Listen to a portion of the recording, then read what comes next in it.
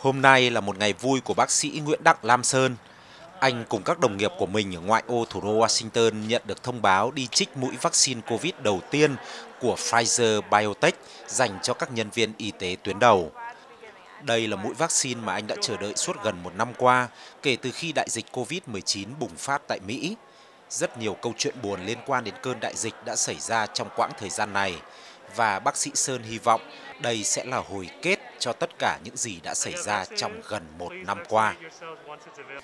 Có thể nói là quá vui, tại vì trong 9-10 tháng qua trong lúc mùa dịch thì tôi đã khám quá nhiều người bệnh nhân là bị ảnh hưởng vì cái bệnh Covid này. Và những người bạn của tôi là bác sĩ trong bệnh viện cũng đã kể quá nhiều chuyện là khi mấy người qua đời vì Covid thì rất là tội nghiệp. Ngoài vaccine COVID của Pfizer Biotech, thì trong tuần qua, Cơ quan Quản lý Thực phẩm và Dược phẩm Hoa Kỳ FDA cũng đã cấp phép cho vaccine của Moderna khi số người chết vì virus corona ở Mỹ đã vượt qua ngưỡng 300.000, theo Đại học John Hopkins.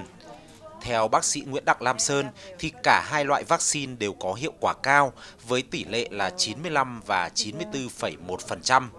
Riêng anh cũng đã có những tìm hiểu cẩn thận về vaccine của Pfizer Biotech trước khi cá nhân mình được trích mũi đầu tiên.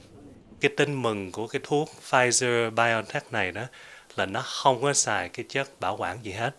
Nó rất là hay là nó lấy cái phần à, cái mảng à, di truyền của COVID và người ta bao lại cho một cái màng mỡ thì cái màng mỡ đó nó không có gây ra dị ứng nhiều Hiện nay, một số quốc gia như Anh, Đức, Israel đã tiến hành trích ngừa cho người cao niên có bệnh nền và có nguy cơ cao đối với COVID.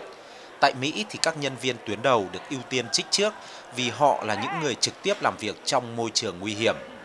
Với việc hai loại vaccine đầu tiên được FDA cấp phép, người Mỹ hy vọng đại dịch COVID-19 sẽ có khả năng được giải quyết triệt để trong từ 2 đến 3 tháng tới đây.